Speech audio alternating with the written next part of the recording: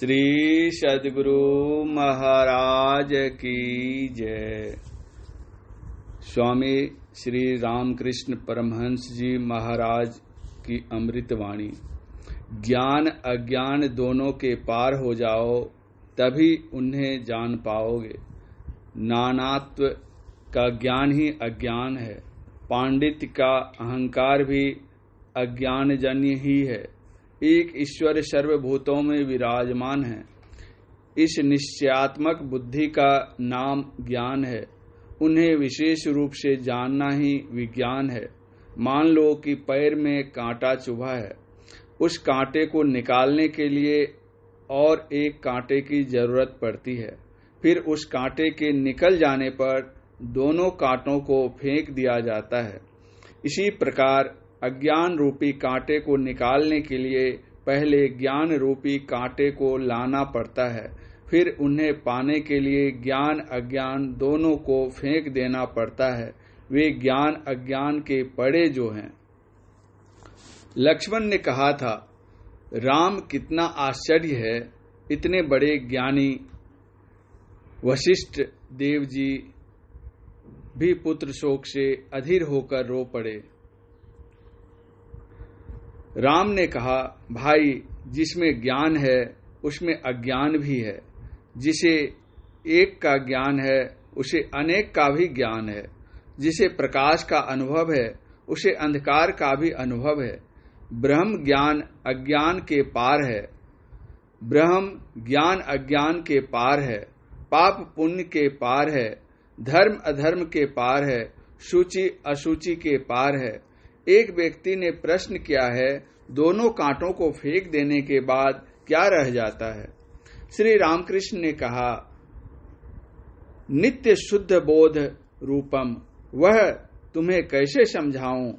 अगर तुमसे कोई पूछे, कहो, घी कैसा लगा तो तुम उसे घी का स्वाद कैसे समझाओगे? ज़्यादा से ज़्यादा तुम उससे इतना ही कह सकते हो कि घी घी के जैसा ही लगा। एक नववधु ने उसकी सखी से पूछा था, तेरे पति आए हुए हैं? अच्छा बहन, पति के आने पर किस तरह का आनंद होता है?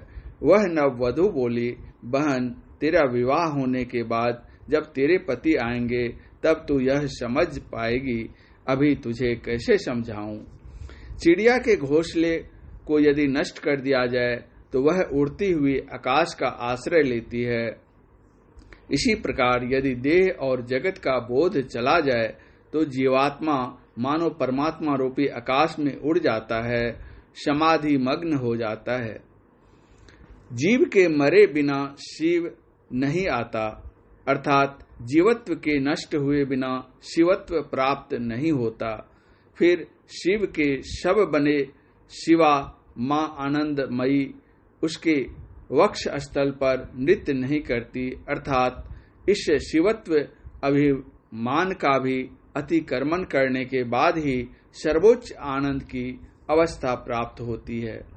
कपूर को जलाने पर कुछ भी नहीं बचता। विचार का अंत हो जाने पर समाधि होती है।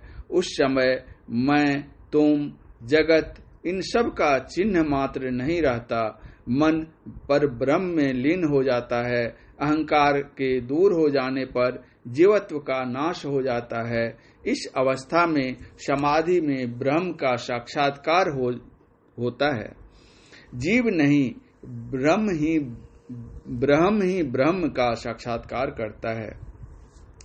किसी भक्त के यह कहने पर कि ईश्वर अवांग मन मनुष्य गोचर है, मन बुद्धि तथा वाणी के अगोचर हैं। श्री रामकृष्ण ने कहा, नहीं, यद्यपि वे इस मन के गोचर नहीं हैं, तथापि वे शुद्ध मन के गोचर हैं, इस बुद्धि के गोचर नहीं हैं, परंतु शुद्ध बुद्धि के गोचर हैं, कामिनी कांचन की आसक्ति के दूर होते ही शुद्ध मन और शुद्ध बुद्धि का उदय होता है।